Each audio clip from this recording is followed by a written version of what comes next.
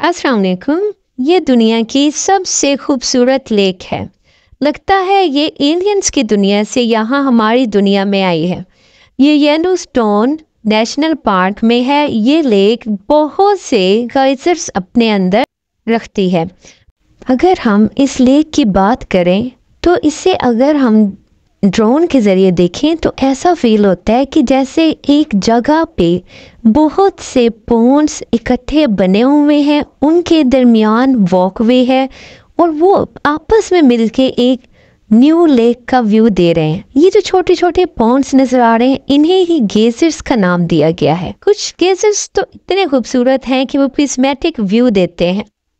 इस लेक को अगर हम नज़दीक से देखें तो ये कुछ ऐसा व्यू देती है कि ऐसे लगता है कि वाटर कलर से ये बना हुआ कोई आर्किटिक स्ट्रक्चर है, या मार्बलिंग की गई है। लेकिन दर हकीकत ये लेक में मौजूद पानी के अपने ही कलर्स हैं।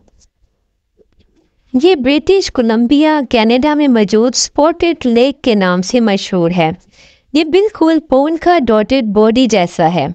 इसे देखने के बाद इसकी मिस्टीरियसिटी से बाहर आना बिल्कुल नामुमकिन हो जाता है। ये लेक समर सीज़न में अपनी नाकाबले यकीन ट्रांसफॉर्मेशन की वजह से फ़ेमस है। इस लेक में डिफरेंट हिंडर्स के स्पोर्ट्स समर्स में बन जाते हैं, जब पानी एवेपोरेट होता है।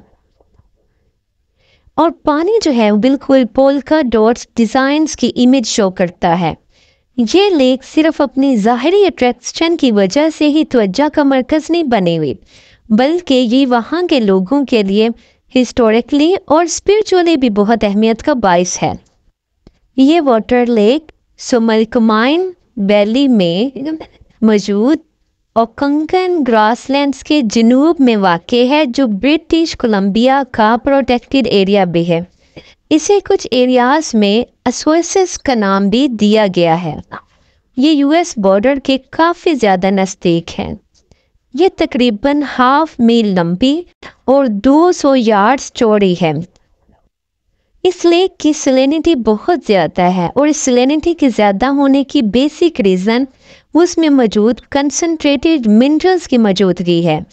और बहुत ज़्यादा गर्म महीनों में जब पानी लेक सरफेस से वेपोरेट होता है तो वाटर लेवल कम होने की वजह से यही मिनरल्स लेक के सरफेस के टॉप पर आ जाते हैं। और एक ख़ास केमिकल बैलेंस की वजह से लेक में पोलका डॉट्स ज़ाहिर होने लगते हैं। इस लेक में मैग्नीशियम सल्फेट कैल्शियम और सोडियम फास्फेट बहुत ज़्यादा मकदार में हैं। इनके अलावा और भी आठ मुख्तलिफ़ मिनरल्स इस लेक में मौजूद हैं, जो बहुत कम मकदार में हैं। For example silver and titanium इन्हीं केमिकल्स की मौजूदगी की वजह से थ्रू आउट द ईयर इस लेक में मुख्तलिफ़ केमिकल रिएक्शंस होते हैं, जिसकी वजह से समर में मैग्नीशियम सल्फेट क्रिस्टलाइज हो जाता है और यही मैग्नीशियम सल्फेट इस लेक के अंदर स्पोर्ट कलरिंग की बेसिक वजह है। बाकी के मिनरल्स इन स्पोर्टेड के दरमियान वॉक वेज पर मौजूद होते हैं। ये लेक आज से तकरीबन तीन हज़ार साल पुरानी है और ये तब से ओकंगन ट्राइब के लिए बहुत ज़्यादा अहमियत का बायस है। स्पोर्टेड लेक को बहुत सालों तक मिस्टीरियस प्लेस और मैजिकल प्लेस कंसीडर किया जाता रहा। और लोग इसके करीब आने से डरते थे।